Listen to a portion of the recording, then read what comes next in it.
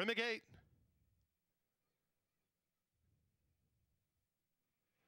And they're off in the 35th in reality.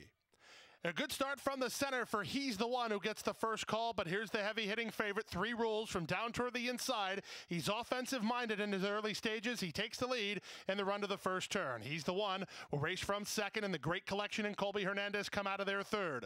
Mr. Pinocchio is now fourth from Don't Come Knocking and Sunshine and Shadow. Love My Cotton is four wide. From behind the speed race, Western Journey, and then to the inside, front loaded. El Cacique is down toward the inside and about six lengths off the pace setter, parked on his out outside goes Ilmatic, and at the back of the pack, the trailer Legacy Aztecas. They straighten for their backstretch run.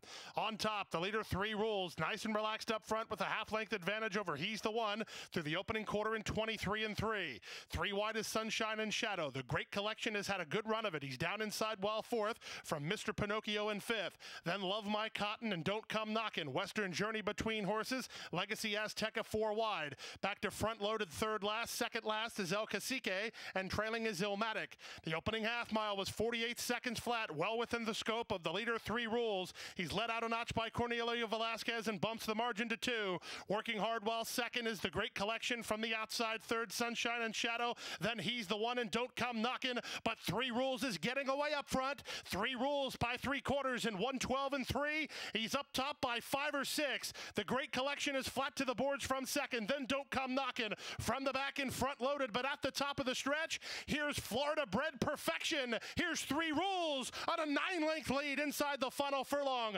Cornelio Velasquez and three rules with a ticket to the Breeders' Cup after a stylish victory in the in reality. Wrapped up in eight and top. Second, the Great Collection. The Don't Come Knocking up third. Then front loaded, followed inside by Sunshine and Shadow, and a time of 144 and 3. One tick off Kiss a Native stakes record.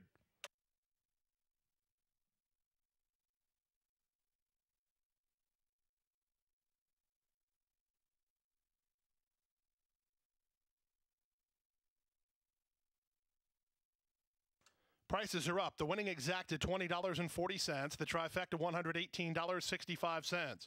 Superfecta 2314 $734.40. 73.44 for a dime. No winners in the high five. There will be a final race high five carryover that must go, by the way. It's a mandatory payout in the super high five. Carryover is $8,283.72. The 4 2 double, $23.20. The pick three numbers are 5 4 2, $88.30.